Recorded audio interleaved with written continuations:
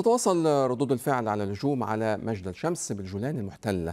إذ دعت أطراف دولية عدة إلى ضبط النفس خشية انزلاق المنطقة إلى حرب إقليمية واسعة. وتعهد رئيس الوزراء الإسرائيلي بنيامين نتنياهو بالرد قائلا إن ما حصل بمجد الشمس لن يمر مرور الكرام. مواطني إسرائيل مثلكم أنا صدمت حين رأيت تلك المشاهد المروعة في أعقاب الهجمة الدموية التي شنها حزب الله على مجد الشمس. بين القتلى أطفال صغار كانوا يلعبون كرة القدم وهناك قتلى آخرون. قلوبنا تمزقت من تلك المشاهد ونحن نساند العائلات والطائفة الدرزية في هذه اللحظات العصيبة وهي عصيبة لنا أيضا. منذ علمت بالكارثة أجريت مشاورات أمنية و أمرت بتسريع عودتي إلى البلاد وفورا بمجرد عودتي سأعقد اجتماعا للكابينت دولة إسرائيل لن تصمت أزاء ذلك ولن يمر مرور الكرام. هذا وقد زار وزير الدفاع الإسرائيلي جالنت صباح اليوم قرية مجد الشمس في الجولان السوري المحتل وحمل حزب الله المسؤولية عن الهجوم. وخلال زيارته موقع سقوط الصاروخ قال جالنت إنه تم رفع الجاهزية إلى المستوى التالي للقتال. وتوعد برد قاس على حزب الله.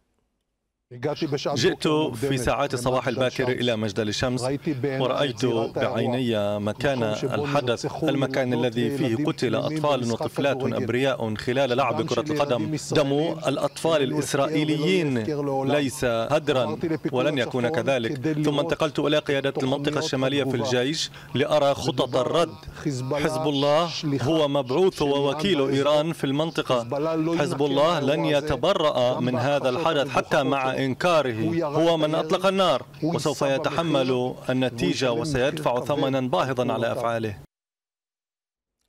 وانتقد زعيم المعارضة الإسرائيلية إير لبيد حكومة نتنياهو وقال إن الحكومة فشلت في توفير الحماية للأطفال والمدنيين مشيرا إلى أن الرد على ما حدث سيكون قويا ويتردد صداه في الشرق الأوسط وفق تعبيره.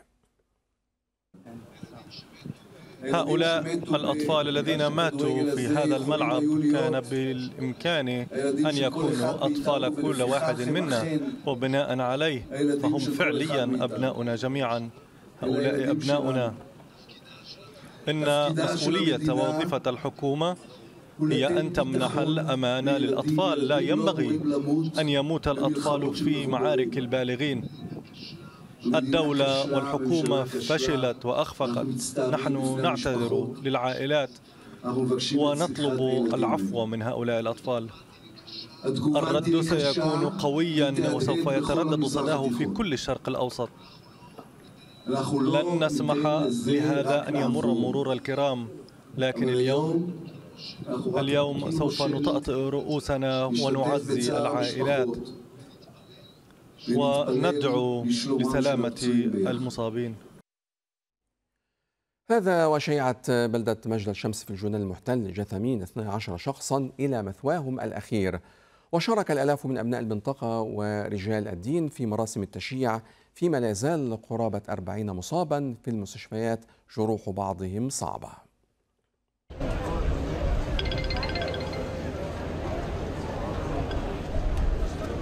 كين Yeah.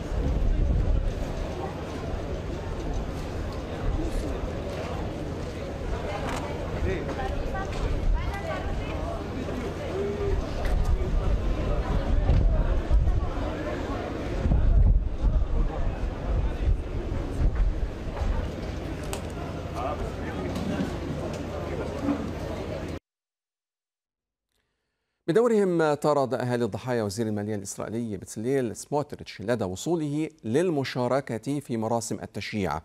وطالب الأهالي بعض الوزراء بمغادرة المكان بدعوى أنهم عنصريون جاءوا فقط من أجل الظهور أمام عدسات الكاميرات. لا نريدك هنا في هضبة الجولان. انصرف من هنا أيها أنت قاتل. قتلت شعبك. ولا مشكلة في أن تقتل المزيد لمصالحك انصرف من هنا أيها أخرجوه من هنا اطردوه من هنا. اخرج. أنت عنصري أنت قاتل خارج عن القانون. فلتنصرف من هنا. ورغم أن في حزب الله اللبناني مسؤوليته عن الهجوم فإن وزير الخارجية الأمريكي أنتوني بلينكن قال إن كل الأدلة تشير إلى أن حزب الله هو من أطلق الصاروخ الذي استهدف الجولان. واعتبر بلينكن أن لإسرائيل الحق في الدفاع عن مواطنيها على حد قوله. ليس هناك أي مبرر للإرهاب وكل المؤشرات تشير إلى أن الصواريخ جاءت بالفعل أو أن الصاروخ كان من حزب الله. إننا نجري محادثات مع حكومة إسرائيل ومرة أخرى أؤكد على حق هذه الأخيرة في الدفاع عن مواطنيها ونصر على التأكد من أنهم قادرون على القيام بذلك. ولكننا أيضا لا نريد أن نرى أي تصعيد أو تمدد للصراع. لقد كان هذا أحد أهدافنا منذ اليوم الأول منذ السابع من أكتوبر إلى الآن. من دوره حذر وزير الخارجية اللبناني عبد الله أبو حبيب من اندلاع حرب إقليمية حال قيام جيش الاحتلال الإسرائيلي بشن هجوم كبير على لبنان؟ وأضاف الوزير اللبناني أن حكومة بلاده طلبت من الولايات المتحدة حث إسرائيل على ضبط النفس وأشار في الوقت نفسه إلى أن الولايات المتحدة طلبت من الحكومة اللبنانية نقل رسالة إلى حزب الله تطالبه بالتحلي بضبط النفس أيضاً.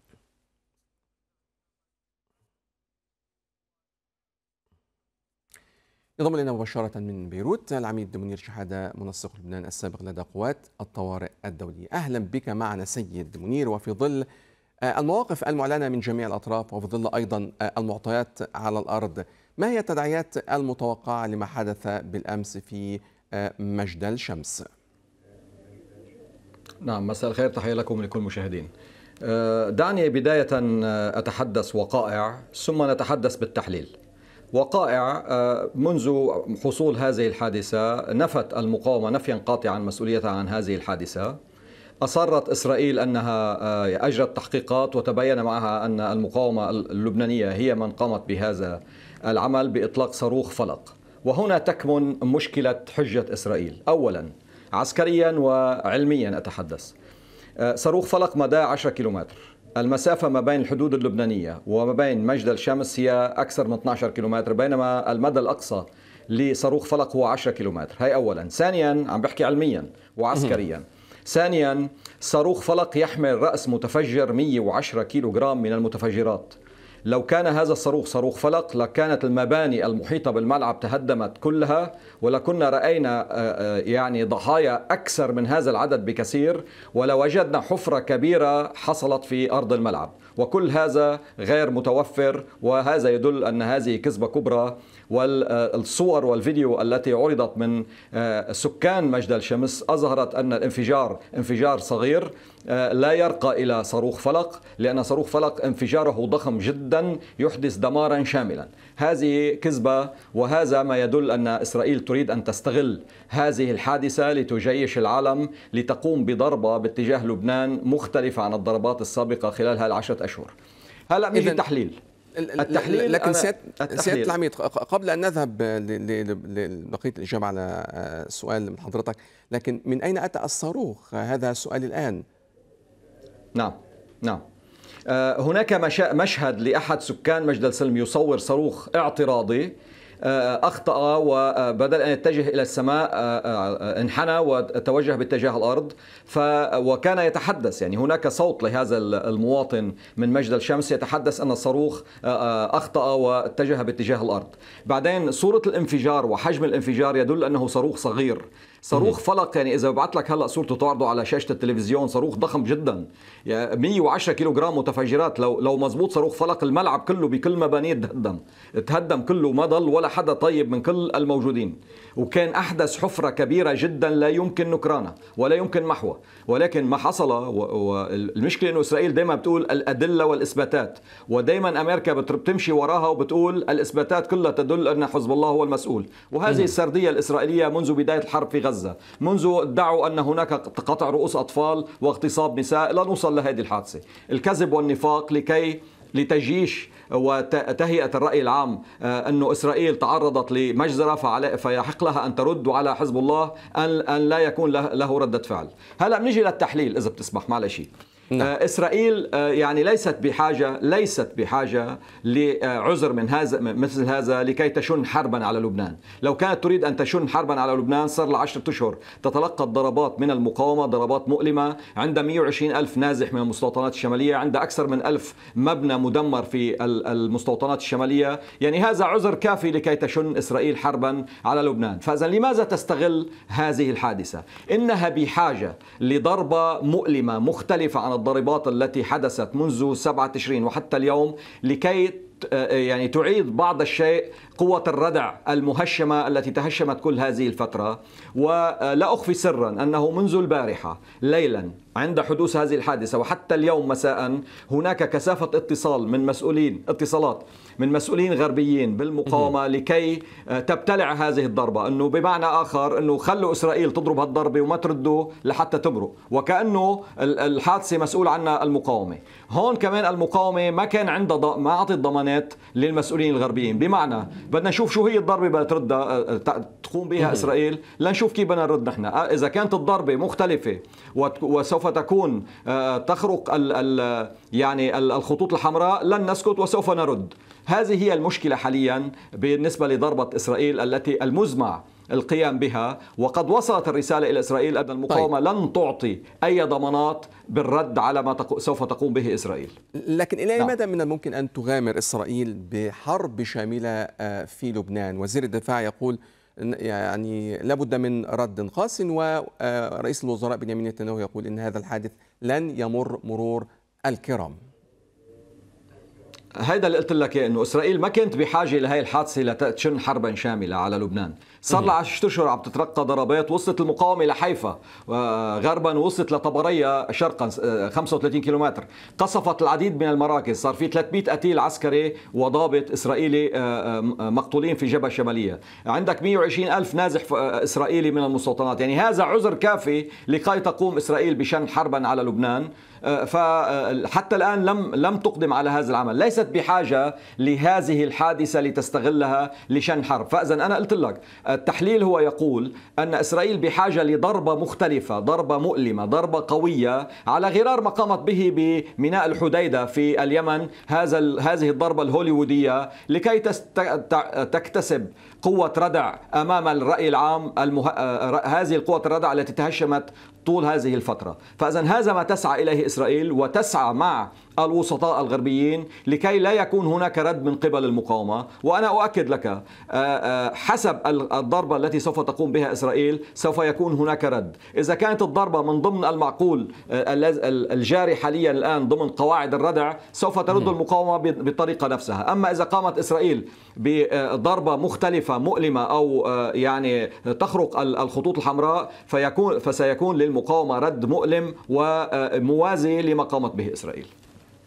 على فكرة إذا بتسمح لي هون في تصريح في تصريح من نعم. شو في تصريح من شوي على لسان وزير خارجية لبنان أن المقاومة مستعدة للانسحاب إلى شمال الليطاني في حال أعطت إسرائيل وعودا بعدم خرق آه، ال 1701 هذا الكلام غير صحيح وغير دقيق. آه، المقاومة لن تتحدث عن هذا الموضوع أبدا وهذا غير وارد أن تنسحب المقاومة إلى شمال الليطاني فقط للتنويه يعني. لكن هناك من يرى أن الطرفين حتى الآن لا يرغبان في آه، التصعيد بأي حال من الأحوال صحيح لكن إلى أي مدى نعم. من الممكن أن تكون نعم. ما حدث آه، بالأمس في مجلس الشمس هي الشرارة التي من الممكن أن تمهد لمواجهة شاملة بين الطرفين آه، يعني المساعي الغربية آه، اللي شفته أنا امبارح من اتصالات مكثفة من الغرب وخاصة الإدارة الأمريكية وخاصة كمان الاتحاد الأوروبي لعدم انزلاق الأمور إلى حرب شاملة في لبنان لأن سوف تصبح حربا في إقليمية في كل المنطقة وهذا ليس من مصلحة أحد وإسرائيل تعلم ذلك. آه، بالإضافة إلى ذلك إسرائيل لن تقدم عن عمل عسكري تجاه لبنان أو حرب شاملة على لبنان قبل التأكد أن أمريكا جاهزة للتدخل بشكل مباشر لمساندتها وهذا غير متاح لأن في أمريكا انتخابات رئاسية بالإضافة أن هناك تدخل أمريكا في حرب من هذا النوع سوف يستجلب تدخل دول أخرى لتصبح الحرب شاملة في كل المنطقة. عدا عن هيك هناك عامل آخر. عواقب فتح حرب شاملة على لبنان على إسرائيل. معهد أو جامعة رايخمان في إسرائيل عملت دراسة ودرست شو هي الأضرار. لقت أنه المقاومة تستطيع أن, أن تطلق 3000 صاروخ في اليوم لمدة شهر وصواريخ هذه الصواريخ مختلفة عن الصواريخ المستعملة في هذه الفترة. إنها صواريخ باليستية بعيدة المدى نقطية ودقيقة سوف تدمر أهداف استراتيجية آه، عرضتها المقاومة في آه، هدهد واحد واثنين آه، وثلاثة وأربعة وخمسة القادمين. فإذا سوف يكون هناك دمار كبير في إسرائيل في حال فتحت حربا شاملة على لبنان. فهذا ما يجعل إسرائيل يعني تعد للمليون قبل أن تقدم على هذا العمل. إسرائيل مثل ما قلت لك أنا متأكد هي تريد أن تقوم بضربة مختلفة عما حصل منذ 7 تشرين حتى اليوم لتعيد آه، آه، ترميم آه، يعني قواعد قدرة الردع اللي عندها المهشمة خلال هذه الفترة. ما يمكن وصفه سيادة العميد الضربة بالضربة لكن من الممكن أن تحدث أخطاء صح. وأن تذهب الأمور بعيدا. صح. صحيح. نعم. اللي عم تحكيه صح.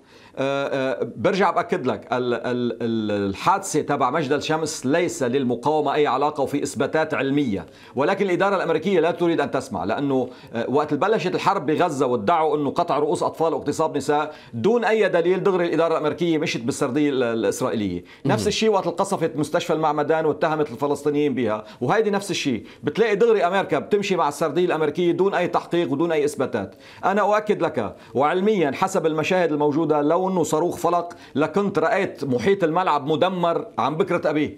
يعني 110 كيلو جرام من المتفجرات سوف يحدث حفرة في الملعب لا يعني ما بيعود في ملعب أصلا. يعني شو هالكذبة هذه؟ آه، الانفجار وحسب الفيديو اللي عرض للانفجار هو صاروخ صغير وهو صاروخ آه، يعني مضاد للطائرات وليس صاروخ آه، فلق. إلى مدى تعتقد أن ما يحدث في لبنان وهذه التطورات ليست بعيدة بالأساس على ما يحدث في غزة و محاولة آه، آه، الربط الدائم بين آه، المقاومة في غزة والمقاومة اللبنانية هو أمر ربما يثير الجانب الإسرائيلي على الجانب الآخر هل محاولات الربط بين الطرفين والمصير المشترك بين الطرفين كما يعلن حزب الله هل سيستمر أم ربما تتغير المواقف بعد هذه الضربة وبعد هذه التطورات؟ نعم آه، سؤال مهم. موقف المقاومة في لبنان ثابت لهذه الناحية. تتوقف الحرب في غزة تتوقف في الحرب في جنوب لبنان. لأن هذه الحرب أصلا فتحت نصرة لغزة لتخفيف الضغط عن غزة لإشغال العدو الإسرائيلي آه، في في حرب في الشمال آه، لتخفيف الضغط عن غزة. وما كمان جبهة اليمن كمان نفس الشيء. يعني محور المقاومة كله فاتح جبهة مع إسرائيل مساندة لغزة. تتوقف محو يتوقف محور المقاومة عن استهداف إسرائيل. إن كان من جبهة الشمالية إن كان من أم الرشراش إن كان من قلب إسرائيل مثل ما قامت اليمن بقصف تل أبيب أو العراق بقصف حيفا. كله سوف يتوقف إذا قامت إسرائيل بإيقاف الحرب في غزة. وبكل الأحوال يعني إسرائيل في غزة وفي في محاور غزة وصلت إلى حائط مسدود. وصل الجيش الإسرائيلي آه، أقنع آه، يعني رئيس الوزراء أن الأهداف التي وضعتها في بداية الحرب بسحق حماس وسردات الأسرى أصبح غير قابل للتنفيذ. وهذا على لسان يعني الناطق باسم الجيش الإسرائيلي وهو العقيد هجاري وحين قال من يعتقد أنه باستطاعته القضاء على حماس فهذا زر الرماد في العيون. هذا الناطق باسم الجيش الإسرائيلي. وكل الخبراء الإسرائيليين وقادة ورؤساء الأركان السابقين ورئيس الأركان الحالي قال أن لا جدوى بعد من الحرب في غزة لأننا لن نصل إلى القضاء على حماس. فإذا بعد عشرة أشهر أنا أرى من ال من ال يعني صار واجب توقف الحرب في غزة لتتوقف في كل المحاور في جبهة جنوب لبنان وفي جبهة اليمن أيضا. هنالك اجتماع للمجلس الوزاري المصغر لتحديد آلية الرد على حزب الله. ما الذي يمكن توقعه لما سيخرج به هذا الاجتماع؟ القصة الحقيقة هي مش بس توقع هي وصلت رسائل إلى لبنان عبر وسطاء غربيين أن إسرائيل أصبحت جاهزة لتقوم بضربة آه، قوية باتجاه لبنان ردا على ما حدث في مجدل سلم مع أنه لا إثباتات أن المقاومة من قامت بهذا العمل. بس خلص سرديل بتقولها إسرائيل لازم تمشي بالعالم فهي آه، أرسلت بواسطة عدة وسطاء وخاصة السيد هوكشتاين وعلى لسان ال ال يعني الوزير وليد جنبلاط قال أنه هوكشتاين اتصل فيه وقال له أنه إسرائيل مجهزة حالها لضربة مؤلمة باتجاه لبنان. فالمقاومة في حال كانت هذه الضربة يعني خارجة عن المألوف سوف يكون هناك رد من من المقاومة متناسب مع هذه الضربة. نعم. شكرا جزيلا. العميد منير شحادة منسق لبنان السابق لدى قوات الطوارئ. كنت معنا من بيروت. شكرا جزيلا لك.